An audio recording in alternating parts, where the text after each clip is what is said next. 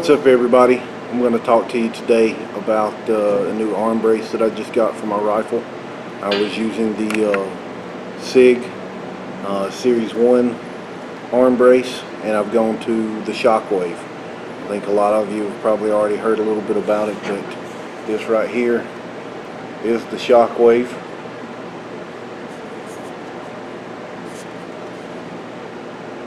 Just so everybody can see it compared to this that I have. This is the SIG, the Series 1. you can kind of see the difference as far as size, how much bigger, kind of clunky the SIG brace is. Now I will say SIG's new brace, they've cut out all this right in here. So it just comes pretty much straight back and then straight down. All this crap where my hand's covering is gone. That's pretty much all you got. Almost about like this. It's just straight back and then down. And even from the back you can see the difference in the width. This is made to go, as you can see, this Velcro comes out and it actually clips over, I shouldn't say clip, but clamps down on your arm and you just Velcro it down. Whereas this, the way this works is you're holding it out and you're bracing it up into your forearm right there. But if you do have to, you know, get it up in the shoulder and take a little bit more accurate shot than what you would holding it as a pistol, this tends to move around a lot. So I've got my AR here, as you can see, we're empty. So this just kind of slides over like that and just get it up in there so you can get that accurate shot. But if I take a couple of shots, this thing will start to rotate out and by the time I'm done shooting, it's like this. So it's kind of become a, a nuisance more than it has been helping me. But like I was showing, the hand up through there goes over the arm just velcros down and that's that right there is how it will go. Right over your arm. You get it up and get your aim. So but again you can't get it up in the shoulder if you've got to make a little bit more accurate shot. And you see I've just got just a regular smooth buffer tube the way this thing works. I don't know if you can see it, but there's a hole there. There's a little screw right there and it just kind of tightens down onto the buffer tube. we're going to take this out here in just a minute and shoot it so you can kind of see what it's like. Because I didn't put any, drop that. I didn't put any Loctite in here on the screw. I'm going to see if I actually need the Loctite uh, just to make sure it doesn't come unscrewed the more I start shooting. So I haven't put any Loctite on the screw. I don't know if you can kind of see down in there. There's a little spot right, right here on this side. You can see where the screw will come up and just clamps right down onto the buffer tube. Now they make buffer tubes uh, for the adjustable stocks.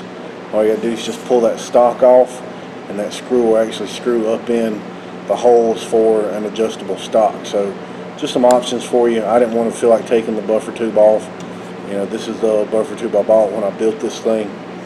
So I, I kind of like it. If something happens, you know, I've still got this. If I need to get it up in my shoulder to make those more accurate shots than, you know, sitting there holding it like this. But just to put it on, you're just going to slide right over. You can go forward, back as much as possible of like to have mine back just a little bit just for the length. And you'll have to kind of line it up make sure it's nice and straight. And then just take the screw it comes with it'll come when you buy it. It'll come with a little allen wrench for you to use. There we go. And then you just start tightening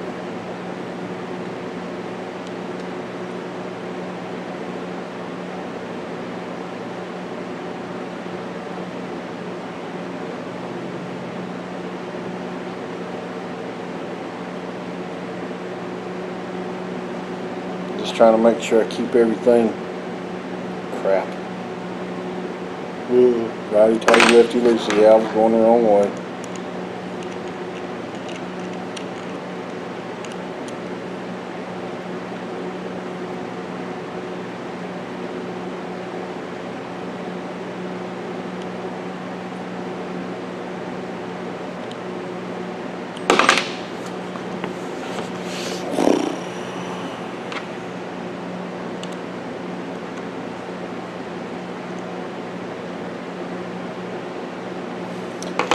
I got it what we need. Get back on here.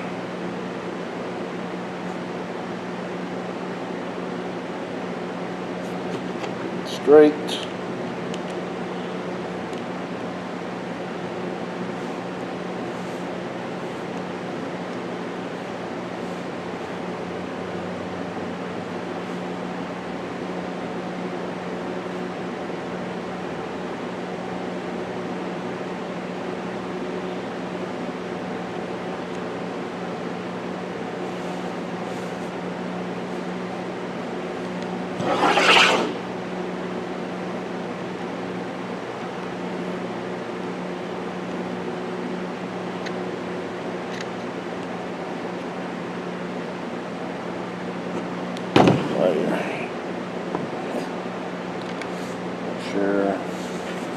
Making sure everything's nice and straight before I snug it up.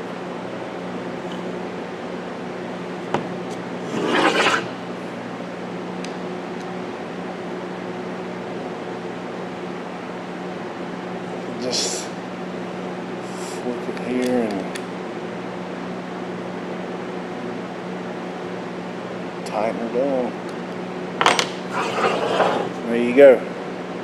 And like I was saying, you just push it on the, kind of turn your wrist and push that up against it. Uh, that's on there pretty good. I mean, you see I'm wiggling, so it's all going to depend on how it does when I shoot it, if I need that Loctite or not. And I might need to put a couple hundred rounds through it to really test this thing out. But just like that, you're using it as a pistol, if you got to take a little bit more accurate shot, need to get it up into your shoulder. Fits right up in there, nice and snug. There's no wiggle to it like with the SIG brace, and you can rock and roll with it. Really reach out and get somebody if you need to. So I think this is going to be a lot better than what the SIG braces. You know, it's very sturdy. It seems like it's on there pretty tight. So the more rounds we put through it, we'll see what that screw does and if it starts to come to loose. Like I said, if it starts to come loose, just going to get some Loctite and put in there on it. So this is a very nice brace to have if you're wanting to have a good AR pistol. So something a little bit more sturdy than the SIG brace. The newer SIG braces, I know, I think that everyone's saying they're they don't slip and slide. Fits on their the buffer tube tighter, but I had a friend of mine that had one of these. He kind of told me about how it worked. You know, said talked about how much he really liked it. So we're figure we'll give it a try. So we're going to take it out up to the range and uh, shoot it a little bit and see how it does from there. So uh, we'll see you out there shortly. All right. Now that we've talked a little bit about the new Shockwave arm brace, we're going to put some rounds through it and see how it holds up. Um, I haven't put, like I said, I haven't put any Loctite or anything on that screw. So we're going to uh, see how it holds up. So like we showed in the video, you're going to the guns, no magazine, the gun is empty. That's how you're going to use it. It's going to brace up against your arm just like that while you're getting your aim. So, let's go ahead and load it up here.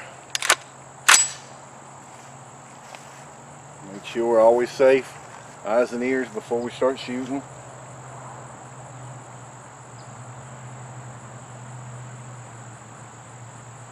Alright, so we're to brace it up just like that. Get your sights.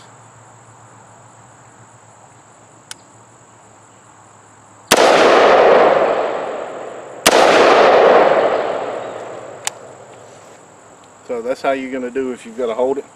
Just pushes on the inside of that forearm. Now if it's something where you've got to go with some distance and make a little bit more accurate shot, get up in here and let her rip.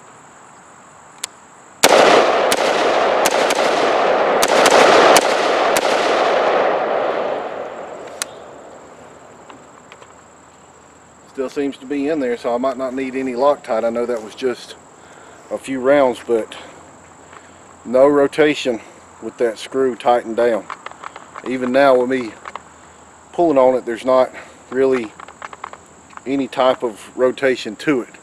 With that SIG brace that I had, it was, you saw in earlier in the video how it was, how easy it would slide and flop around.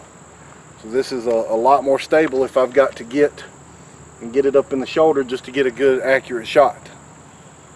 But still, get some good accurate shots. Just make sure you brace it up in on that arm, get your sights, and go to town. So this is a, a very nice thing to have if you're not really happy with your SIG brace or you don't like the way the SIG brace looks or the way that it feels this is the Shockwave. So very, very good little tool to have. I'm very, very impressed with it so far. Good and solid. So far it's, like I said, it seems to be holding into place. We'll run some more rounds through it and see exactly how it does after we put quite, you know, a couple hundred rounds through it and make sure it holds. If not, I'll probably just have to throw some uh, Loctite on there. Or if you've got the buffer tube from an adjustable stock you know this is a good thing to have. This will fit right up in there and it'll screw right into place. So just some different options for you if this is something that you're uh, interested in using. So I'm I've been pleased with it so far. You know this was the first time putting a couple of rounds through it just to see if that Loctite would or if it would hold without the Loctite. So it looks good so far. So take a you know, go out and do your do some research, see if it's something that you're interested in. It's the Shockwave arm brace. Been very happy with it. And always remember, folks, if you're not shooting, you're reloading. If you're not reloading, you're fighting. If you're not fighting, you're dead. Train to live. See you on the range.